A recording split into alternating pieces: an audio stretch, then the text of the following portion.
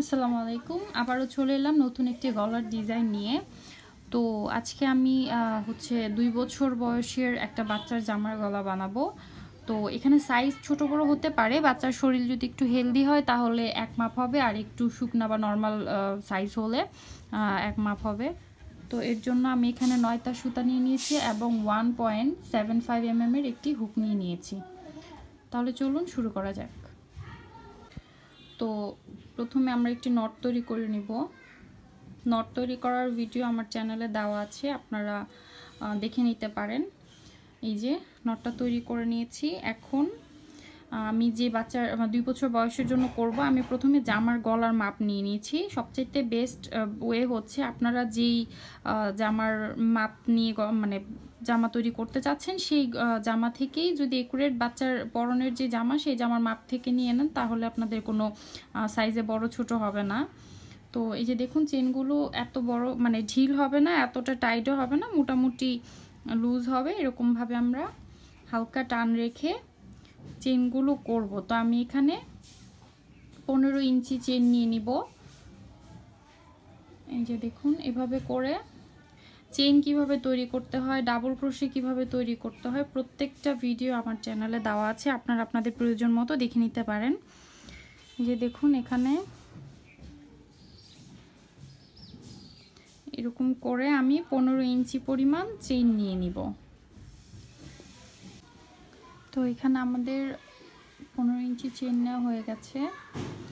টানা যাবে না, হালকা করে ধরে।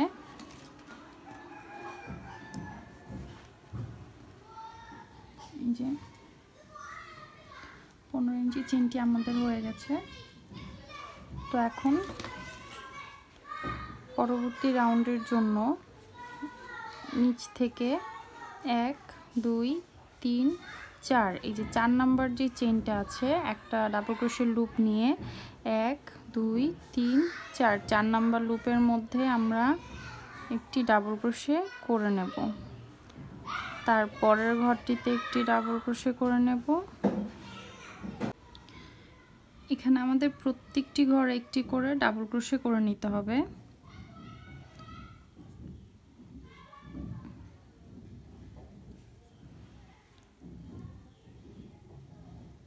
আপনারা যদি কেউ ডাবল ক্রোশে কীভাবে করতে হয় সেটা না জানেন, তাহলে আমার আগের ভিডিওগুলোতে কীভাবে কুশি কাটার নট তৈরি করতে হয়, কীভাবে সিঙ্গেল ক্রোশে করতে হয়, কীভাবে ডাবল ক্রোশে করতে হয়, কিংবা চেইন করতে হয়, সেটার ভিডিও দেয়া আছে, আপনারা কষ্ট করে দেখে নিতে পারেন। আশা করি অনেকটা উপকার হবে। আর এছাড়াও যদি আপনাদের খুশি কাটা সংক্রান্ত কোনো প্রশ্ন থাকে, অবশ্যই আমাকে কমেন্ট করে জানাবেন। আমি আমার যথাসাধ্য চেষ্টা করব আপনাদেরকে হেল্প করার জন্য। তো এখন মূলত আমাদের এই সেকেন্ড রাউন্ডের কাজ এটাই। আমাদের এখানে যে চেনগুলো আছে, প্রত্যেকটা ঘরের মধ্যে একটা করে আমাদেরকে ডাবল ক্রোশে করে নিতে হবে। এখানে আর কোনো এক্সট্রা কাজ নেই। শুধু প্রত্যেকটা ঘরে একটা করে ডাবল ক্রোশে করে নেব। এখানে আমাদের এত বেশি টাইট বা এত বেশি ঢিল ছেড়ে কাজ করা লাগবে না। শুধুমাত্র নর্মালভাবেই ধরে ডাবল ক্রোশেগুলো আমরা করে নেব। তো এখন আমি সবগুলো ডাবল ক্রোশে কমপ্লিট করে তারপর আপনাদের কাছে ফিরে আসছি। দেখুন, এখানে আমার প্রত্যেকটি ঘরের মধ্যে একটি করে ডাবল ক্রোশে করা হয়ে গেছে।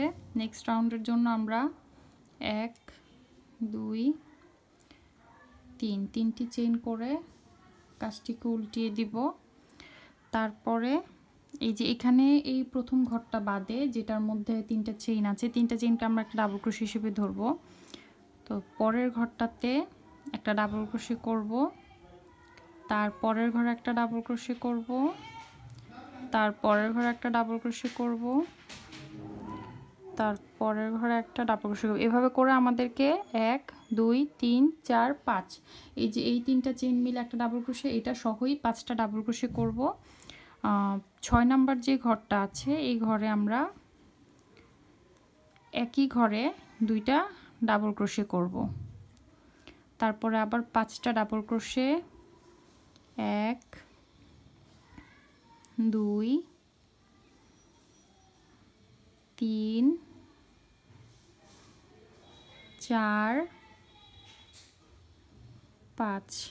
পাঁচটা ঘরে পাঁচটা ডাবল ক্রোশে ছয় নাম্বার ঘরে দুইটা ডাবল ক্রোশে এক, দুই, ছয় নাম্বার ঘরে মূলত আমরা প্রত্যেকটার ছয় নাম্বার ঘরে দুইটা করে ডাবল ক্রোশে করব যেন গলার গোল শেপটা চলে আসে। মানে আমরা এখানে স্টিচগুলো ইনক্রিজ করব। তো এখানে আবার পাঁচটা ডাবল ক্রোশে এক দুই, তিন,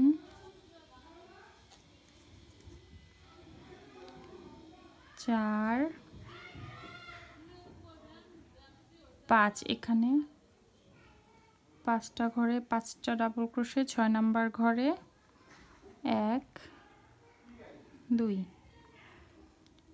আবার পাঁচটা ডাবল ক্রোশে এক, দুই তিন,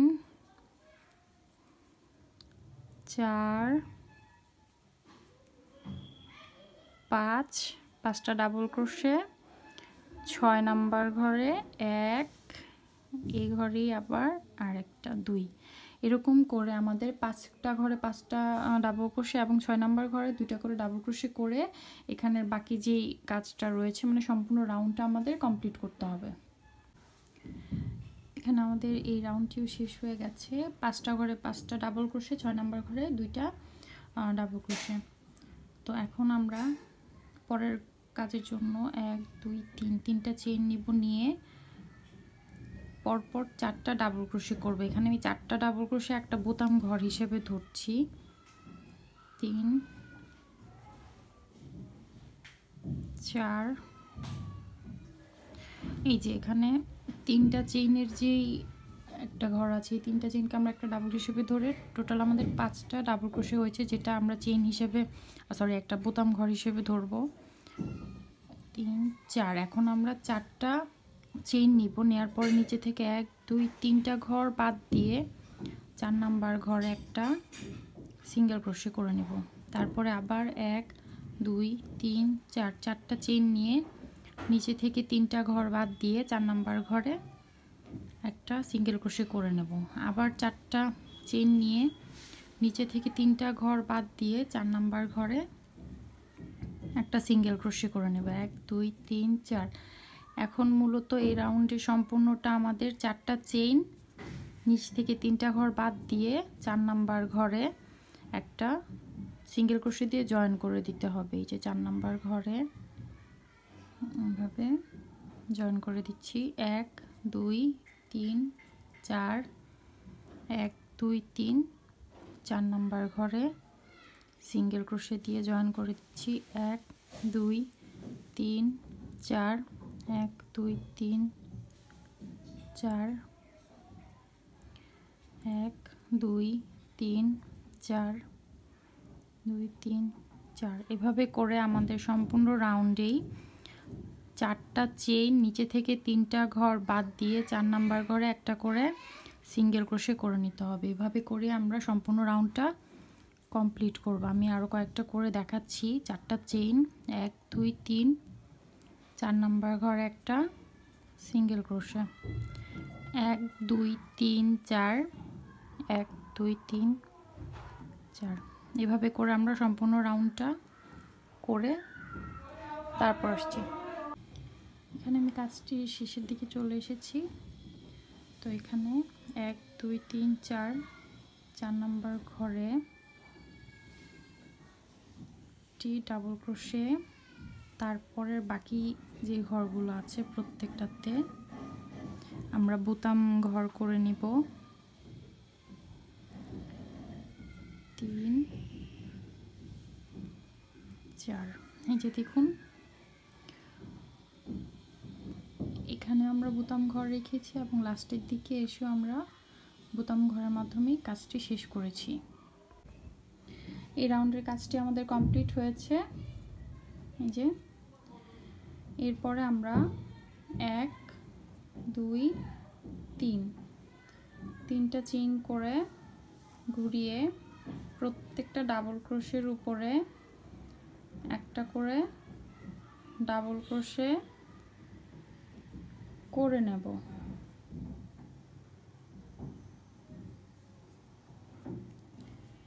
তারপরে একটা চেইন নিয়ে পরের যে ঘরটা আছে, ঘরটার মধ্যে একটা সিঙ্গেল ক্রোশে করে এক, দুই, তিন, তিনটা চেইন করে এই ঘরটাতেই আবার তিনটা ডাবল ক্রোশে করে নেব।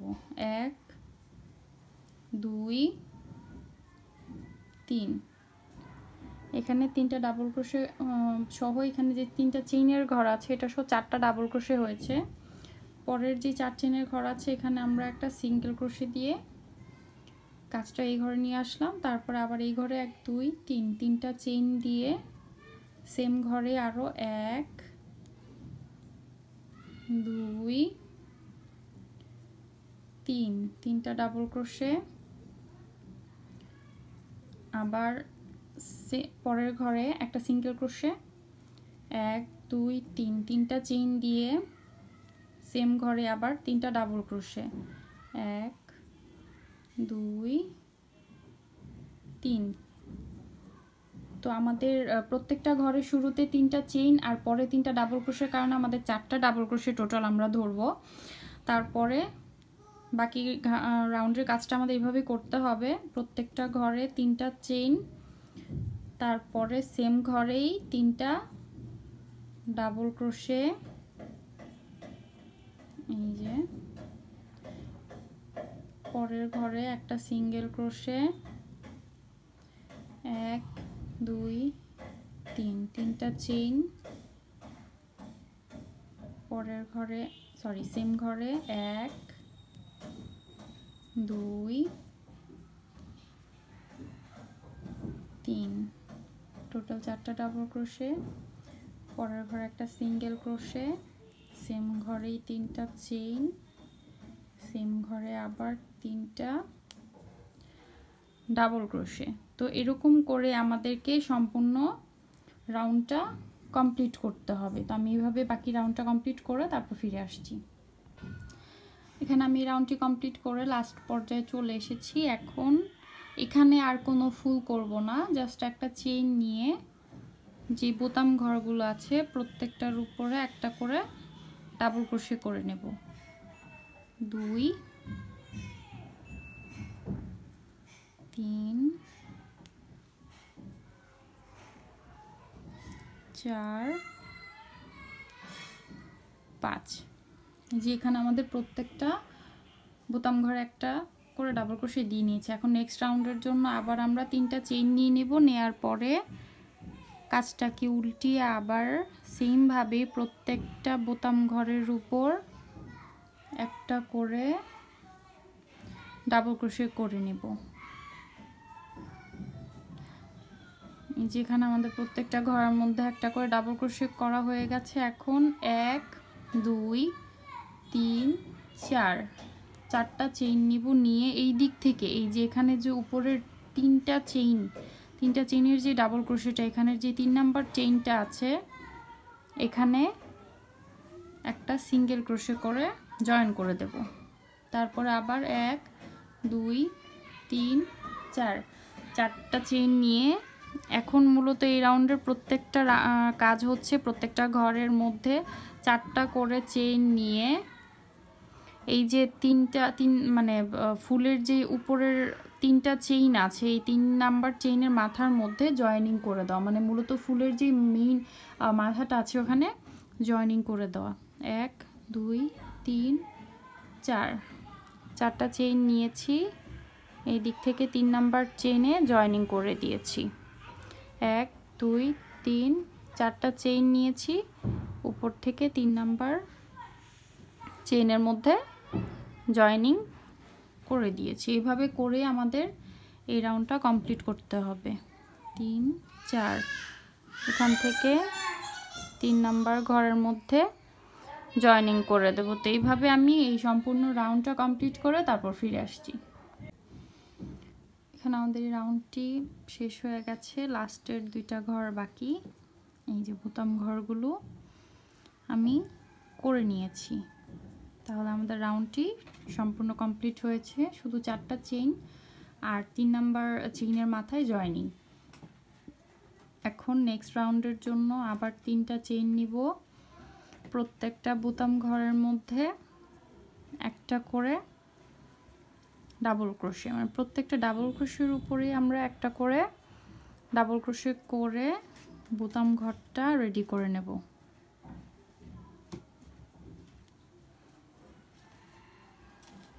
এখানে আমাদের বোতাম ঘরটা কমপ্লিট হয়ে গেছে।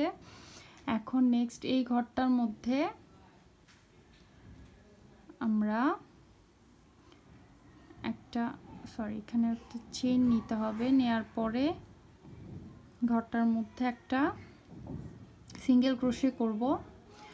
তারপরে এই রাউন্ডটার মতো করেই তিনটা চেইন সেম ঘরেই এক, দুই তিন, তিনটা ডাবল ক্রোশে মানে টোটাল চারটা ডাবল ক্রোশে করে আমরা এক একটা ঘরে করব।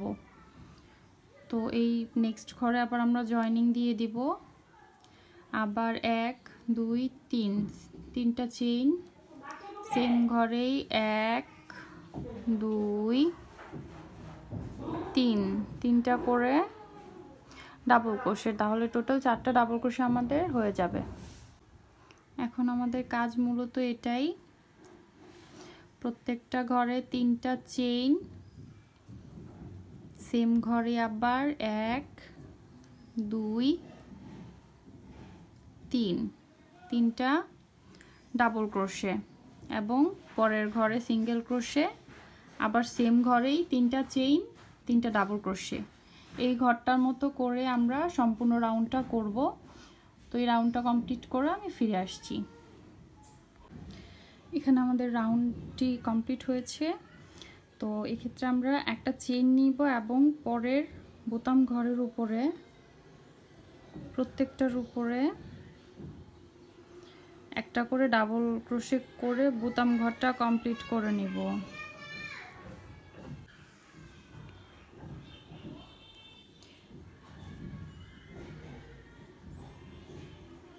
এখানে আমরা সবগুলো বোতাম ঘরে মানে ডাবল ক্রোশের উপরে একটা করে ডাবল ক্রোশে দিয়ে আমরা এখানে এই বোতাম ঘরের রাউন্ডটা কমপ্লিট করে নিয়েছি। এখন নেক্সট রাউন্ডের জন্য আবারও তিনটি চেইন নিব। এখন জাস্ট কাজে রিপিট হবে, নতুন কোনো কাজই আমরা করব না। যে এতক্ষণ যে কাজগুলো করেছি, ওগুলোই রিপিট হবে প্রত্যেকটা ঘরের পরপর। বোতাম ঘরের জায়গায় বোতাম ঘরগুলো আমরা করে নেব।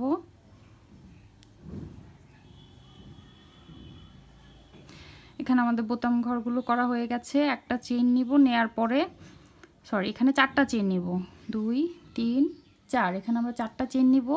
এই যে এখান থেকে যে তিন নাম্বার চেইনটা আছে, এখন নতুন কোনো কাজই হবে না, আমি আবারও বলছি এখানে আগে রাউন্ডের মতোই চারটা করে চেইন নিয়ে প্রত্যেকটা মানে তিনটার যেই চেইনের মাথা আছে, এক, দুই, তিন, চার, সেই মাথাগুলোর মধ্যে জয়েনিং করে দেব।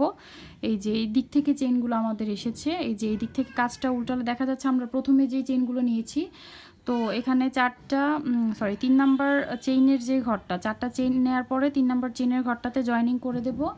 এক, দুই, তিন, চার। চারটা চেইন নিয়ে এই যে তিন নাম্বার চেইনের ঘরে জয়েনিংটা করে মানে মূলত এই কাজটাই রিপিট হবে, চারটা চেইন তিন নাম্বার জয়েন সরি চেইনের উপরের মাথার মধ্যে জয়েনিং এরকম করে এই রাউন্ড কমপ্লিট করব। তারপরের রাউন্ডে এই যে প্রত্যেকটা ঘরের মধ্যে চারটা করে ডাবল ক্রোশে এভাবে করে আমরা মূলত এই গলার কাজটা করব।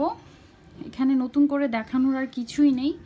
এই যে দেখুন আমাদের প্রত্যেকটা স্টিচ এখনের ঘরে শুধু চারটা চেইন আর এই তিন নাম্বার চেইনের মাথায় জয়নিং চারটা চেইন তিন নাম্বার চেইনের মাথায় জয়নিং তারপরের ঘরে প্রত্যেকটা ঘরের মধ্যে প্রথমে তিনটা চেইন তারপরে তিনটা ডাবল ক্রোশে টোটাল চারটা ডাবল ক্রোশে আমরা ধরবো। আবারও তিনটা চেইন তিনটা ডাবল ক্রোশে তো এরকম করে আমি সম্পূর্ণ গলাটা রেডি করে তারপর আপনাদের কাছে নিয়ে আসছি। তো এখানে আমাদের গলার কাজটি কমপ্লিট হয়ে গেছে। আপনারা যদি চান তাহলে নয়টা সুতার পরিবর্তে, যদি নয়টা সুতা না থাকে, গুটি সুতা কিংবা মানে কুশি কাটার যে গুটি গুটি সুতা, ওইটা কিংবা লাচ্ছি সুতা দিয়েও আপনারা গলার কাজটি করতে পারেন। এখানে চাইলে বোতাম কিংবা ফিতাও দেওয়া যেতে পারে। তো আমি এখানে বোতাম লাগাবো।